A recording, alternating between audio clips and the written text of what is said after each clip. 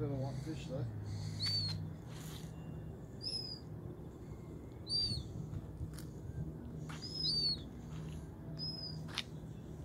These are nice eating if you um, I think Brad's plucking them.